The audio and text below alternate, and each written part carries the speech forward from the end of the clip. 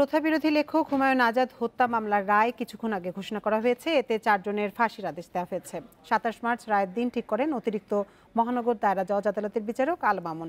দুই সালের সাতাশ ফেব্রুয়ারি ঢাকায় জঙ্গি হামলার শিকার হন হুমায়ুন আজাদ। সত্তর দিনের চিকিৎসায় সুস্থ হয়ে ফেরেন। পরে বারোই আগস্ট জার্মানির মিউনিখে পাওয়া যায় তার মরদেহ। বাংলা সাহিত্যের বহুমাত্রিক লেখক হুমায়ুন আজাদ, যার লেখায় রয়েছে ধর্ম, মৌলবাদ প্রতিষ্ঠান ও সংস্কার বিরোধিতা, যৌনতা, নারীবাদ ও রাজনীতি। একুশে পদক ও বাংলা একাডেমি পুরস্কার পান ঢাকা বিশ্ববিদ্যালয়ের বাংলা বিভাগের এই শিক্ষক। উনিশশো বিরানব্বই সালে হুমায়ুন আজাদের নারী প্রকাশের পর শুরু হয় বিতর্ক। উনিশশো পঁচানব্বই থেকে দুই হাজার সাল পর্যন্ত বইটি বাংলাদেশে নিষিদ্ধ ছিল। দুই হাজার তিন সালে ইত্তেফাক পত্রিকায় প্রকাশ হয় হুমায়ুন আজাদের পাকসার জমিন সাতবাদ উপন্যাস। পরের বছর একুশে বইমেলাতে বের হয় বই। এতে জামায়াতে ইসলামীকে ফ্যাসিবাদী সংগঠন হিসেবে উল্লেখ করেন তিনি। এতেই ক্ষুব্ধ হয় মৌলবাদী গোষ্ঠী। দুই হাজার চার সালের সাতাশ ফেব্রুয়ারি বইমেলা থেকে বিশ্ববিদ্যালয়ের বাসায় ফেরার পথে বাংলা একাডেমির উল্টো দিকে ফুটপাথে জঙ্গি হামলার শিকার হন হুমায়ুন আজাদ। পরদিন তার ছোট ভাই মঞ্জুর কবির হত্যা চেষ্টার মামলা করেন। ওই বছরের বারো আগস্ট জার্মানির মিউনিখে তার মরদেহ উদ্ধার হয়। পরে হত্যা চেষ্টা মামলা, হত্যা মামলায় রূপান্তর হয়। দুই সালে মামলাটির তদন্ত কর্মকর্তা পাঁচজনের বিরুদ্ধে এ নিয়ে আলোচনাতে ঢাকা মহানগর দায়রা জজ আদালত থেকে আমাদের সাথে যোগ দিচ্ছেন সহকর্মী জান্নাতুল ফেরদৌস তানভি। তানভি আমরা জেনেছি যে কিছুক্ষণ আগে রায় ঘোষণা করা হয়েছে, চারজনের ফাঁসির আদেশ দেওয়া হয়েছে। আপনার কাছে সবশেষ কি তথ্য আছে আমাদের বিস্তারিত জানাবেন। এই মামলায় যে চার আসামি রয়েছে, তার মধ্যে দুইজন পলাতক এবং দুই জঙ্গিকে আজকে কারাগারে থেকে আদালতে নিয়ে আসা হয়েছে এবং দুই জঙ্গির উপস্থিতিতে তাদেরকে চার আসামিরই মৃত্যুদণ্ড দিয়েছে চতুর্থ মহানগর জজ আদালত এবং অনাদায়ে পঞ্চাশ হাজার টাকা জরিমানা দেওয়া হয়েছে। এর মধ্যে যে দুইজন পলাতক, সালেহিন এবং নূর খান, তাদেরও মৃত্যুদণ্ড দেওয়া হয়েছে এবং রাষ্ট্রপক্ষের আইনজীবীরা এই মামলায় অন্য কোনো পর্যবেক্ষণ আছে কি না সে বিষয়ে আদালত সে বিষয়ে জানার জন্য আদালতে এখনও রয়েছেন, এখনও তারা আদালত থেকে এসে উপস্থিত হননি। আমি একটু জানিয়ে রাখি যে হুমায়ুন আজাদের পরিবার যাদের আসলে এই মামলাটি নিয়ে বেশ অনাগ্রহ রয়েছে, কারণ তাদের মূল আগ্রহের বিষয় ছিল যে সময় এই হামলাটি হয়েছিল দুই সালে বিএনপি জামাত জোট সরকারের সময়ে। তারা চেয়েছিলেন দেলোয়ার হোসেন সাইদি যেহেতু সংসদে দেলোয়ার হোসেন সাইদি পাকসার জমিন সাতবাদকে নিষিদ্ধ ঘোষণা এবং হুমায়ুন আজাদ হুমায়ুন আজাদকে মুরতাদ ঘোষণা করা হয়েছিল সেই সময় মৌলবাদী গোষ্ঠী সরব ছিল। সেক্ষেত্রে তাকে দেলোয়ার হোসেন সাইদিকে এই মামলায় অভিযুক্ত করার জন্য তারা সে সময় আবেদন করেছিলেন। কিন্তু পরবর্তীতে অধিকতর তদন্তের তদন্তের তদন্ত যেটি করা হয়েছিল সেটিতেও পাঁচ আসামিকে দেওয়া হয়েছিল যারা জামায়াতুল ইসলাম মুজাহিদিনের সদস্য। এবং সিআইডি যে তদন্ত করেছিল সেই তদন্তে এসেছিল শায়ক আব্দুর রহমান এবং সিদ্দিকুল ইসলাম বাংলা সিদ্দিকুল ইসলাম বাংলা ভাই যে জঙ্গি যাদের অন্য মামলায় মৃত্যুদণ্ড হয়েছে অ- মৃত্যুদণ্ড কার্যকর হয়েছে, তাদের অভিযুক্ততা অর্থাৎ তাদের পরিকল্পনায় এবং নির্দেশেই এই হত্যাকাণ্ড ঘটানো হয়েছে। এই জঙ্গিবাদ জঙ্গি গোষ্ঠী এই হত্যাকাণ্ড ঘটিয়েছে সেটি কিন্তু সেই তদন্তেই চলে এসেছিল। এবং আমরা আসামি পক্ষের আইনজীবীরা তারা রায়ের পর আদালতে এসেছেন। আমরা একটু তার কাছ থেকে রায়ের যে মূল রায়টি সেই রায়টি শুনে নিচ্ছি। আদালত রায় কি আদালত রায় কি বলেছেন? না মাননীয় আদালত আমাদের। হ্যাঁ মাননীয় আদালত আমাদের এই জাজমেন্টে কোনো ফাইন্ডিং নাই। শুধু চারজন আসামিকে ফাঁসি দিয়েছেন বললেন যে চারজন তিনশো দুই ধারা প্রমাণিত হয়েছে এবং চারজন আসামিকে ফাঁসি দিয়েছে। আমরা আসামি পক্ষে মামলার প্রতিনিধিত্ব করেছি। আমরা মনে করি যে এটা একটা যে রায় আমরা প্রত্যাশা করেছিলাম, সেই রায়টা হয় নাই। আপনারা জানেন যে তিনশো দুই প্রমাণ করতে হলে এখানে সার ছয় মাস পরে মারা গেছেন। উনি সুস্থভাবে, উনি স্কলারশিপ নিয়ে জার্মানিকে মিউনিকে গিয়েছেন। সেখানে উনি হার্ট অ্যাটাকে মারা গেছেন। এই লাইব্রেরিটা আমাদের ঘরে চাপাই দিল। আমরা মনে করছি যে এই রায়টা সঠিক হয় নাই এবং আমরা এই আদালতের রায়ের এগেনস্ট উচ্চ আদালত আপিল করব আদালত পর্যবেক্ষণে দেয়নি।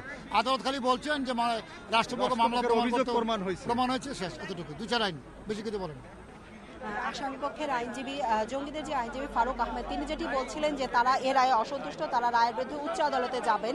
কারণ হুমায়ুন আজাদের মৃত্যু হয়েছিল জার্মানির মিউনিখে এবং তার মিউনিখে যেই গবেষণার জন্য তিনি জার্মানিতে গিয়েছিলেন, সেই রুমে পরে তার মরদেহ পাওয়া যায়। তবে যে পোস্টমর্টেম রিপোর্ট মিউনিক থেকে যে পোস্টমর্টেম রিপোর্ট পাঠানো হয়েছিল, সেই পোস্টমর্টেম রিপোর্টে কিন্তু বলা হয়েছিল যে তাকে যে, তাকে মৃত্যুর আগে যে অত্যাচার করা হয়েছে, সেই অত্যাচারের ফলে তার মৃত্যুদণ্ড হয়েছে। এবং মৃত্যুদণ্ড হয়েছে এবং সেই অত্যাচারের ফলে তার মৃত্যু হয়েছিল হুমায়ুনের মৃত্যু হয়েছিল। ধীরে ধীরে মৃত্যুই তার কারণ। এবং ফারুক আহমেদ যেটি বলছেন আসাম পক্ষের আইনজীবী তিনি যেটি বলছেন যে তারা এই রায়ের বিরুদ্ধে উচ্চ আদালতে যাবেন উচ্চ আদালতে গেলে তারা তারা ন্যায় বিচার পাবেন। কারণ সেই সময় জার্মানিতে তারা ছিলেন না পোস্টমর্টেম রিপোর্ট অনুযায়ী তারা আদালতে সেখানে ছিলেন না। আমরা আবারও একটু রাষ্ট্রপক্ষের আইনজীবীর আহ, আসামি পক্ষের আইনজীবী তাদের যে বক্তব্য সেটি গিয়েছেন।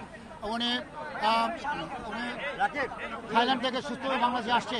তো আমাদের স্যার ওইখানে ঠান্ডার কারণে স্ট্রোক করে এবং ওনার ভাই মারা গিয়েছিল।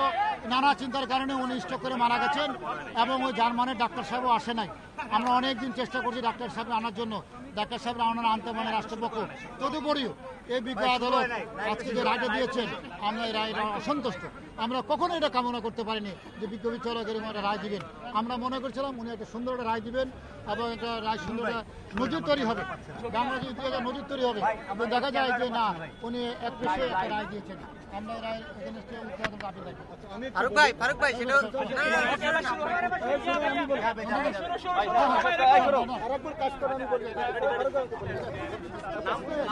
আমাদের বাংলাদেশের ইতিহাসে এরকম কোনো জাজমেন্ট একজন নাম বলে আমি নাম বলে বলে আমি আর্গুমেন্টে ছিলাম।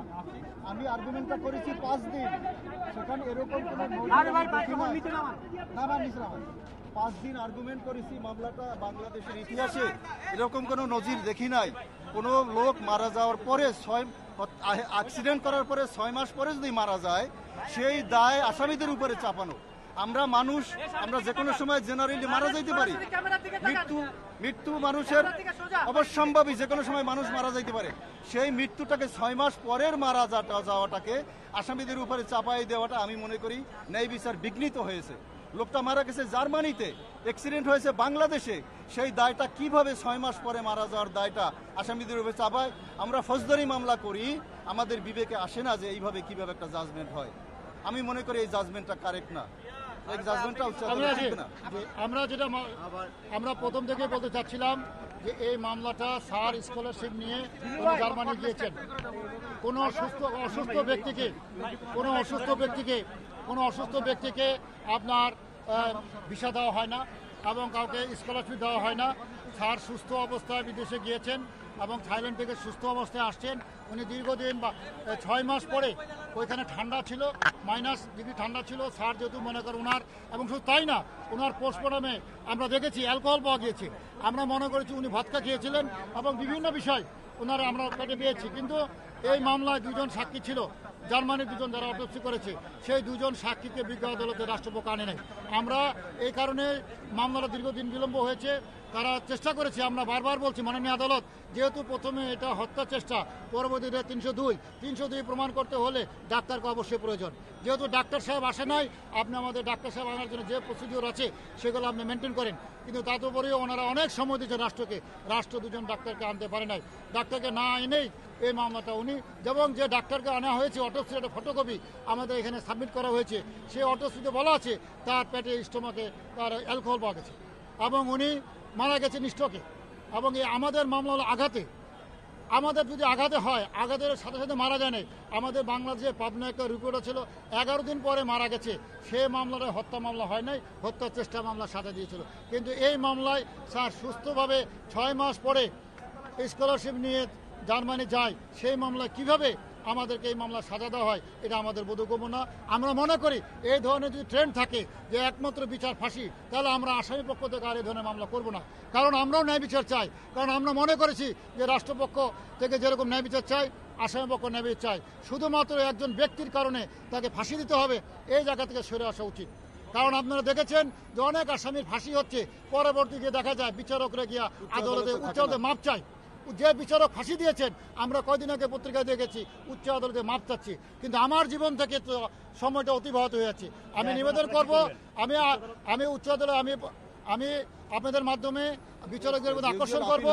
যদি এরা যদি অন্যায় করে থাকে তাদের সাজা দেন। যেখানে অন্যায় নাই সেখানে এরকম সাজা আমরা কখনো আইনজীবী হিসাবে মেনে নিতে পারি না। প্রথাবিরোধী লেখক হুমায়ুন আজাদ হত্যা মামলার রায়ের সবশেষ তথ্য জানছিলাম আদালত প্রাঙ্গণ থেকে।